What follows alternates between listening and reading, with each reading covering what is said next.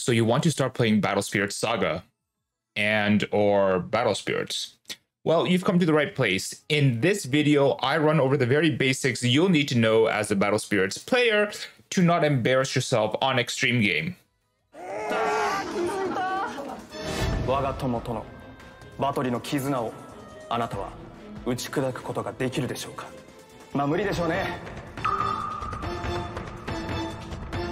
Let's get right into it.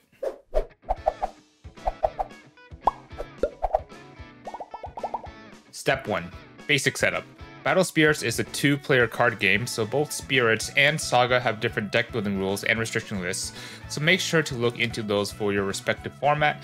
But the most basic thing to note is that Battle Spirits runs on a deck count of at least 40 with at least 3 copies of each card, whereas Saga runs of at least 50 with at least 4 copies of each card. Once you've got your deck built and your Tupperware of cores, you are ready to gate open Kaiho. Both players will draw to 4 in their opening hand, and both players will start with 5 cores in life, as well as 4 cores in reserve, with one of these cores being the Soul Core. The Soul Core is a special core used to pay for special effects, but we'll get into those later. Now to the Saga side of things, which Spirit doesn't have is Mulligan.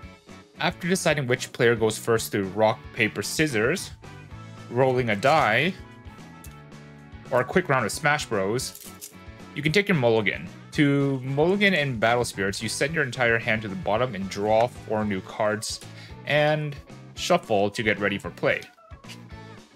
One important new rule is that if you keep your opening hand without any mulligans, you get to start with an extra card. With mulligans complete, let's go ahead and go into the flow of a turn. Step 2, the turn flow.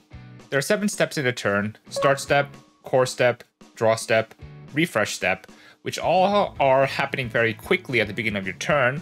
Then you enter the main step, where you summon spirits, deploy nexuses, cast magics, and throw slurs at your opponent because you walked into a burst. And once you're ready, you can go into the attack step. The attack step is a very important phase of the turn, so we will give it a little bit of extra attention later. But once you are satisfied with the damage you've done, or if you have nothing left else to do, you proceed to the end step and pass it to your opponent. The start step is just acknowledging that you are now the turn player, and during the core step, the second player turn onwards gets a core from the void. And the void is just extra cores to be used as turns progress. And they put that core from the void into the reserve. Which is to say, turn 1 player starts at 4 cores and turn 2 player starts at 5. During the draw step, you draw from your top deck, simple enough.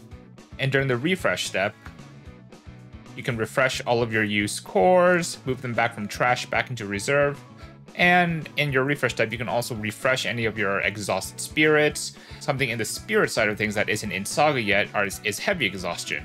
If you have a spirit that's heavy exhausted, you can refresh it once back into the exhaust state. Then you would need another refresh step to get it back into the refresh state. Once your refresh step is done, you're ready to go into the main phase where you're going to be playing and summoning most of your cards. I also want to mention the movement of cores in the main step, which is unfortunately sometimes overlooked. One of the less known things you can do in the main step is the free movement of cores, and when I say free, I mean free. You have full freedom as to what you want to do with your cores. You can move them from amongst the field to the reserve, just not randomly sending cores to trash for no reason. If you wanted to, I don't know, put all of your cores onto one spirit, and then deplete the rest of them, that is a-okay. If you want to spread them amongst all the different spirits you have, that is a-okay as well.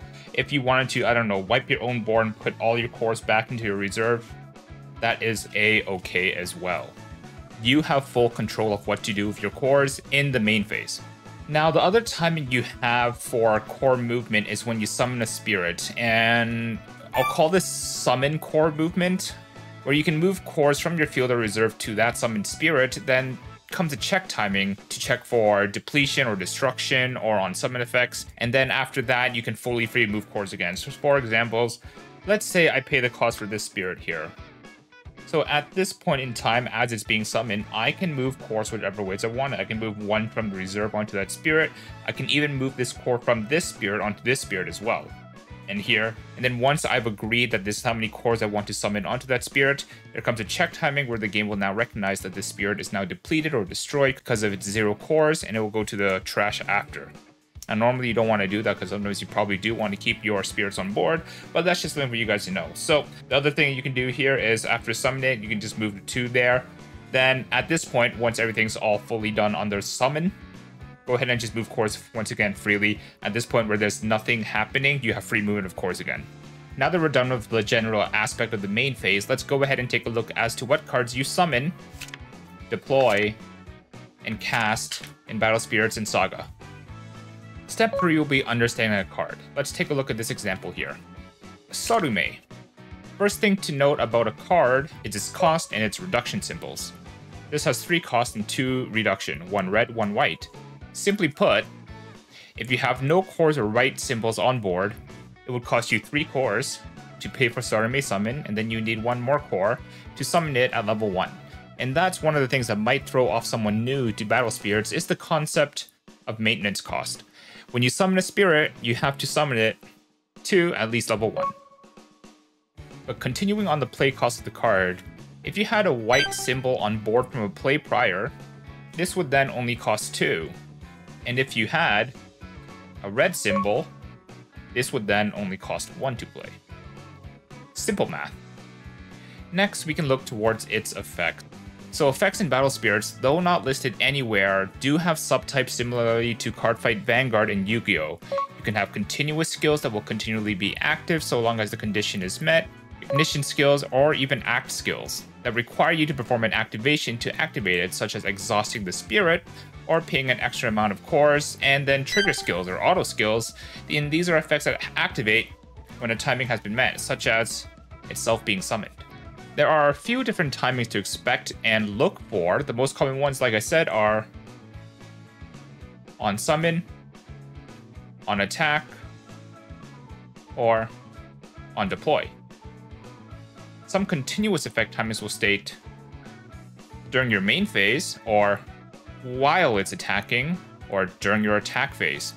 And like I said, some ignition skills such as during your main step, by exhausting this spirit, maybe draw a card.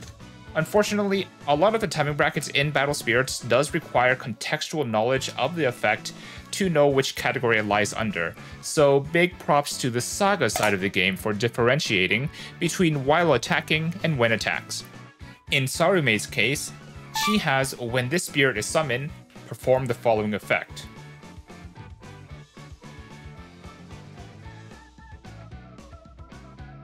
She also has the main phase continuous effect here. This spirit gains one extra red symbol, so she's able to help provide extra reduction for cards that need a red and a white reduction, but I digress. This was just an example of a spirit card that has both an on-trigger effect as well as a continuous effect. Now, let's take a look at its power. Sarume has two level thresholds, level 1 and level 2. Some spirits will even go up to level 4. The two numbers you see represent the number of cores required and what level you become, and as you reach these higher levels, your spirit unlocks more effects and becomes stronger. For example, this is my friend, 51st Sengoku Dragon, Soul Dragon. Soul Dragon is actually another spirit that goes all the way up to level 4 with 6 cores. Level 3 with 4 cores, and gets stronger and stronger based on what level it reaches. And like I said, as you get stronger, you also unlock new skills. He has his when summoned effect trigger at level 1, 2, 3, 4, but at level 2, 3, 4 is when he gets his second skill, his when attacks effects. So if there's anything to take away from the spiel about levels, it's knowing how to balance your core placement and to make the most out of the power you have on the board, as well as the effects as well. So, aside spirits, you also have nexuses. These are basically what you can think of as landmarks on your board. Speaking of your board, I also want to mention that there is no upper limit on anything within the game. No upper limit on cards on board, no upper limits on cards in hand, and no upper limits on cores. Go wild with that knowledge, if you will. Nexuses are, in my opinion, one of the strongest card types in the game, as they are a symbol on board that do not require a maintenance level, whereas spirits cannot exist with zero cores on it as their minimum level, level 1, requires at least one core. Many nexuses do have their level 1 maintenance as zero cores.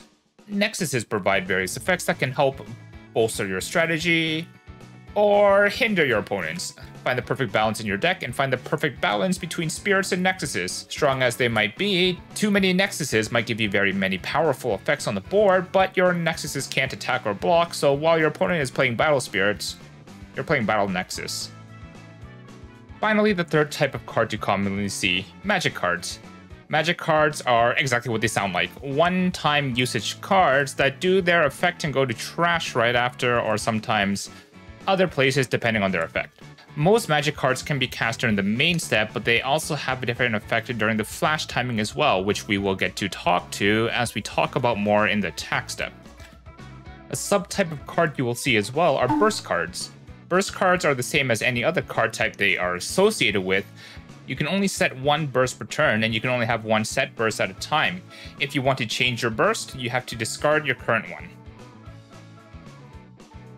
When something happens in the game that meets the condition of your burst, examples given, your opponent added cards to their hand, your opponent destroyed your spirit, you can declare your burst activation and follow through on the effect. These are very powerful effects that can swing the tempo of a game in one fell swoop, so keep an eye out for these. The last kind of card does not exist in Saga yet, but this is what we'll call a Mirage. A Mirage is basically a card that goes over your burst. It stays in the burst zone as well, after paying the cost for the Mirage, you can set the Mirage, and basically it kind of acts like a field spell that both you and your opponent have to be aware of. But you can mostly expect to see these three different kind of cards as you go about your games in Battle Spirits and Saga. Get familiar with them and get familiar with finding the perfect balance between the three types to optimize your deck's game plan. And now we enter step 4, the attack step. The attack step is where war is waged, where spirits start throwing hands at each other to determine who gets our Lord and Savior Penton's favor. In the attack step, you you uh you attack and you block. Or during the attack step is where the most fun part of Battle Spirits occurs, the flash timing. So, during the turn player's attack step, they can choose to declare an attack with any refresh spirit by exhausting that spirit and declaring an attack. At this point, any on attack or when your opponent's spirits attacks from your opponent's side of things effects would activate, then they would resolve, and once everything is fully resolved, we enter the flash timing. An easy way to remember is that the defending player always has the first flash, in the flash timing, players can then use any effects from hand on field that have flash timing to try and control the battle, gain tempo, gain power, various things to be able to do. As Saga grows and grows, the more things that are available in the flash timing will exist, and my favorite is Advent. Oh, we love Advent. But yes, the flash timing flow is such. The turn player declares attack defending player has first flash priority. Turn player has second flash priority. If neither have flash here, the flash timing is passed and we go into block declaration. At this point, the defending player can choose to block or not. If they choose to not block, they take damage from the life. Or, um, life deukuru. The damage taken is equal to the number of symbols on the attacking spirit. But various things can change this, such as Braves and Brave Spirits, or some spirits just having two symbols to start off in the first place. If they do choose to block, however, we enter a second flash timing. Once again, defending player has the first flash priority and then back to turn player. And once all flashes are done, then we enter the BP comparison stage, and the stronger of the two destroys the other in battle. In a more advanced video, I'll do I'll explain about many timings, but keep in mind that there are many effects in Battle Spirits that can trigger off of just exhausting your spirit to declare an attack. But Saga is still in its infancy, and the very basis that you do need to know is the two flash timings associated with an attack declaration. Step 5. Winning the game. There are a few ways to win the game in Battle Spirits, and in Saga, the most common way is to hit your opponent for 5 damage and make their life hit 0. Water is wet. But if either player cannot perform the draw for the turn, they also lose. This is more of a commonly seen blue strategy that looks to destroy your opponent's deck and avoid battle and win in their own scummy way. Now that you know the very basics of the game, get out there and open some gates so you can Kaiho. I hope this was helpful for getting you into, if not at the very least interested, in the deep interactions that Battle Spirits and Saga have waiting for you. Socials are down. Socials are down in the description below if you want to stay connected, and you can also join the Discord for remote and TTS opportunities if you're looking to play some Battle Spirits or learn. The community I have is very helpful and always looking for prey. I mean fellow summoners to play with. In any case, this has been Token from Yellow Card Battle Spirits, and I will see you next time.